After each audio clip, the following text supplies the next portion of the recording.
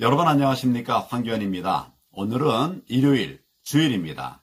계속해서 통일 대박 열차 13번째 이야기입니다.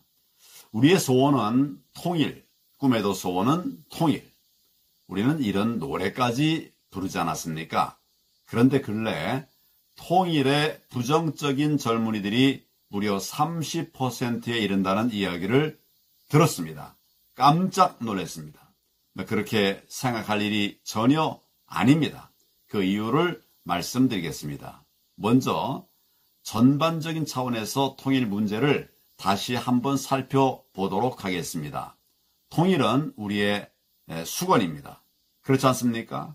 그러나 아무리 그렇더라도 손이익을 판단해 보는 것이 필요하겠죠.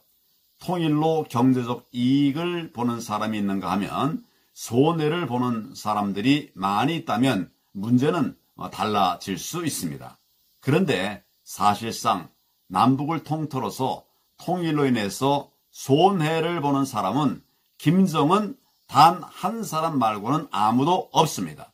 우리가 통일 대박의 세상을 이루게 되면 남과 북, 국민들 모두가 다 더 잘 살게 됩니다.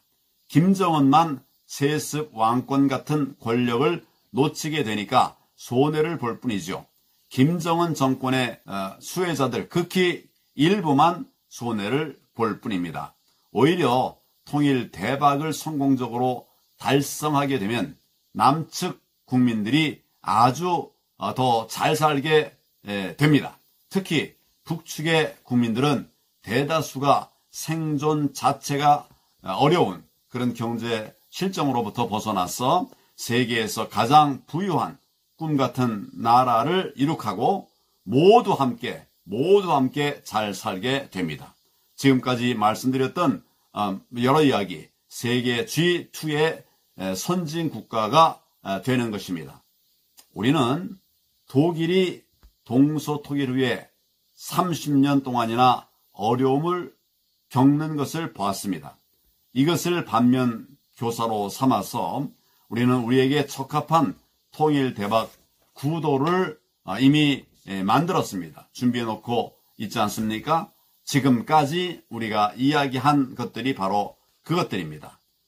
독일은 통일 후 30년 동안이나 힘든 세월을 겪었습니다. 처음 8년 동안은 통일세로 소득의 7.5%나 납부했고 그 후 2020년까지 모두 30년 동안 소득의 5.5%를 납부하면서 살아야 하는 어려움을 겪었습니다. 그리 고서도 좀 더 잘 사는 이런 정도의 통일이 되는데 그쳤습니다. 그러나 우리는 다릅니다. 우리는 30년이 아니라 단지 10년이면 됩니다. 그것도 통일세로는 소득의 2%만 어, 있으면 됩니다. 사실은 그것도 1%로 가능했던 것을 문재인 정권이 나라 빚을 천조 원 넘게 이렇게 올려 어, 놓는 바람에 부득이 1%에서 2%로 올라갈 수밖에 없게 되었던 것입니다. 그래도 10년 동안 매년 2%씩 10번이면 끝입니다. 그리고 통일대박 구도 하에서의 경제 성장을 감안하면 오히려 큰 이익이 남게 됩니다. 이미 말씀드린 바와 같이 통일대박 구도에 따라서 통일이 되면 남한은 남한대로 매년 11%에 해당하는 소득 증가가 따라오게 됩니다. 그 가운데 2%만 떼서 세금을 내면 되는 겁니다. 부담이 아니라 대박이죠. 결국 통일 10년 후 통일 대박이 달성되면 세계에서 미국 다음 가는 미국 다음으로 잘 사는 그런 나라가 돼서 세계 G2 반열에 오르게 되는 겁니다. 이것이 바로 통일 대박의 비밀입니다. 통일은 어렵다고만 생각할 것이 아닙니다. 오히려 청년, 젊은이들이 도전적으로 통일 대박 열차에 올라타야 합니다. 다 함께 통일의 길로 들어서서 우리 민족 모두 함께 자유로운 가운데서 인간답게 모두 잘 사는 그런 나라를 만들어가야 하지 않겠습니까? 여러분 오늘도 함께 해 주셔서 감사합니다.